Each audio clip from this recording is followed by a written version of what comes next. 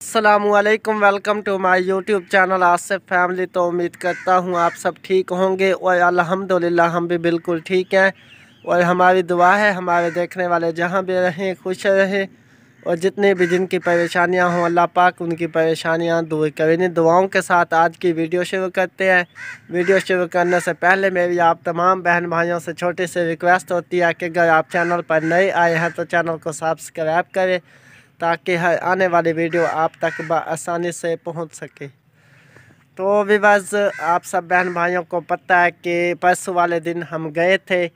अम्मी का ID card check करवाना था कि अम्मी का नाम आया है, अम्मी को पैसे मिलेंगे या नहीं मिलेंगे। तो उस दिन तो इतना रश था, बहुत ही ज़्यादा रश था।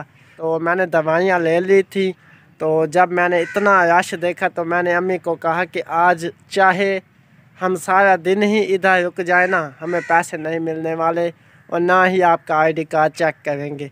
क्योंकि इतना ज़्यादा रश है तो ना ही हम इतनी देर रुक सकते हैं, क्योंकि पीछे जो है ना, फैसल और बहनों का भी ख्याल रखने वाला कोई नहीं है। दादाजी बैठे हुए तो हैं, फिर भी ये नुकसान करते रहते हैं इधर। इस वजह से हम जल्दी वापस आ गए थे। तो कल फिर अम्मी गई थी, मेरे चाचू के साथ मेरी चाची भी गई थी। तो कल अम्मी के साथ क्या बना, इसके बारे में मैं आपको बताता हूँ। तो आज हमारी ठंड भी बहुत ज़्यादा थी तो सुबह जो है ना बहुत ठंड थी आज। तो अभी धूप निकली हुई है, लेकिन इतनी कलिया धूप अभी भी नहीं निकली। क्योंकि थोड़ी बहुत धुंध अभी भी है। तकरीबन ग्यारह बजे दिन निकला है वो भी बस इन आज की वीडियो शुरू करते हैं। तो आप सबने आज की वीडियो मुकम्मल देखनी है। वीडियो अच्छी लगे तो हमारे चैनल को ज़रूर सब्सक्राइब करना है। वीडियो को लाइक, शेयर ज़रूर करना है। तो विबस आप सब बहन भाई आए वीडियो में मेरी देखते तो होंगे। जब मैं इधर वीडियो बनाता हूँ तो ये पीछे नज़र आता है ये दरख्त। तो ये दरख्त है किस चीज़ का? तो ये मैं आपको आज बताता हूँ। तो शायद आपने ये चीज़ खाई भी हो।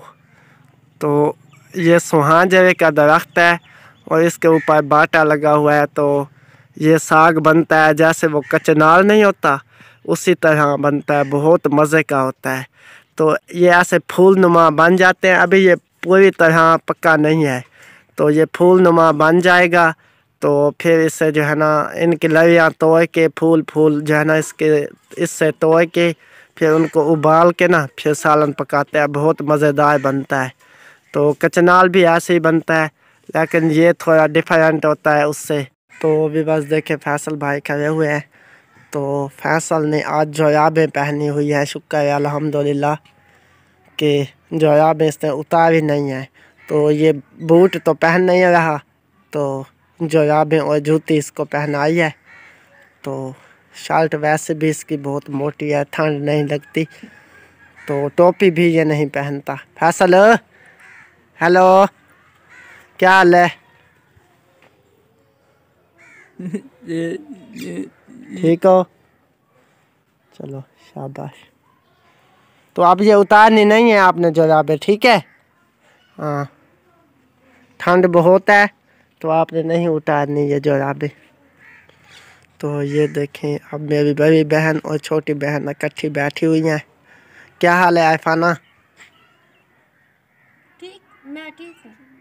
तो आज तो आयफाना ने इतनी ठंड में नहा लिया है और ऊपर से कुछ पहना हुआ भी नहीं है। सर्दी नहीं लगी आपको ना नहीं लिया भी नहीं है। नहीं आपको सर्दी नहीं लगी? आपने नहा लिया नहीं नहीं आपको ठंड नहीं लगी? इतनी सर्दी है आपने नहा लिया है। हैं? पानी तो पा के तत्ता पानी। अच्छा पानी गर्म करके नहाया है? हाँ। अच्छा फिर ठीक है। अम्मी कहाँ पे है? अम्मी कहाँ गई है? बोलो। गई है। तो ये देखिए आपको तो सर्दी लग रही है तो आप कुछ पहने ना ऊपर से ये देखे। आप कहाँ पर रही हो? तो कुछ पहनो। आपकी चादर भी है, आपकी वो ऊपर वाली जो होती है जर्सी होती है, वो भी है तो आप क्यों नहीं पहनती हैं? इतनी ठंड है बीमार हो जाओगी, फिर। हैं? पहनो शाबाश। वो देखें, अम्मी, मेरे ख्याल में दूध लेने गई थी तो अम्मी दूध लेकर आ गई है तो वो गई अपनी चाय बनाने। तो अभी बस अरफाना अब बनाने लगी है चाय तो दूध अम्मी ले आई है ना वो कहती है मैं चाय बना लूँ। तो ये मैं फैसल को चने दे रहा हूँ। तो अम्मी भी फैसल के साथ बैठी हुई है तो अम्मी से भी बात करते हैं। तो आप सबने वीडियो मुकम्मल देखनी है। ये ना फैसल खाओ चने। बैठो। ऊपर बैठ जाओ ऊपर बैठ जाओ। नहीं पाता नहीं चलो शुक्र है। अल्हम्दुलिल्लाह। हाँ। जो आप बंदा पाती बैठे चलो। हाँ बस ये शुक्र दे अल्हम्दुलिल्लाह। टोपी टोपी को पवाऊँगा पेन रहे तो दो चार मिनट बाद नहा देते हैं। टोपी अब ना लेके आओ कुछ देर बाद पहनाएँगे अभी इतनी सर्दी नहीं है क्योंकि फिर मगर के बाद फिर सर्दी ज़्यादा हो जाती है। तो अम्मी अब आपसे बात करनी है मैंने मुझे भी थोड़ी सी जगह दे बैठने के लिए। तो मुझे आप बताएँ आप जो गई हैं चाचू के साथ पैसे लेने मैंने तो कहा कि आप अभी ना जाएँ हम साथ जाएँगे। तो अम्मी कहती है तुम घर का ख्याल रखो। तो मैं जाती हूँ और जाना पैसे मैं निकलवा कर ही आऊँगी। मैंने कहा हाँ हाँ बैठे तो हमारे रिश्तेदार हैं कि हमें पैसे दे देंगे। रिश्तेदार तो वैसे देते भी नहीं हैं। तो ये तो हुकूमत की तरफ़ से मिल रहे थे। तो अम्मी कहती है मुझे भी मिल जाएँगे। तो लगता है कि मेहमान भी आ गए हैं। हमारे अभी बात हो रही थी। तो अम्मी फिर आप बताएँ कि पैसे ले आई हैं कि नहीं? अम्मा मेरा पुत्र ओ खड़े खड़े इतना रश है सर्दी बला है मैं गईया ओ तो धक्के मार मार के मैं के मेरा चेक करो चेक करो। मैं तो बैठे बैठे बैठे मैं के चल मेरे तो बच्चे बद्धे खड़े मैं के सर्दी खड़े से। अच्छा। मैं के चेक करो मेरा तो रश बहुत होगा ना? बहु रश थी गए मैं तो छेकड़ मैं के मैं दावना लिखी थे मैं के मैं तो इतनी देर खाड़ी नहीं सकती बहु रश आई। बस क्या गरीब बंदा सुनने। बस वो कई हालात तो बस तकरीबन तीन घंटे अम्मी लगा कर आई है तो मैंने घर का ख्याल किया है अम्मी कहती है मैं जाती हूँ पैसे ले आती हूँ शायद शनाख्ती कार्ड चेक करवा के आ जाती हूँ। तो मैंने कहा चलो जाए मैं ख्याल करता हूँ शायद आपका नसीब अच्छा हो आपको पैसे मिल जाए। तो अम्मी कहती है कि इतना रश लगा हुआ था। तो कुछ जानने वाले लोग होते हैं जिनके तो उनको तो पैसे मिल रहे थे, उनका आईडी कार्ड भी चेक हो रहा था, जिनके नाम आ गए थे। तो फिर जो है ना, अगर कोई सलाम दुआ वाला बंदा हो आगे तो फिर तो जल्दी काम हो जाता है।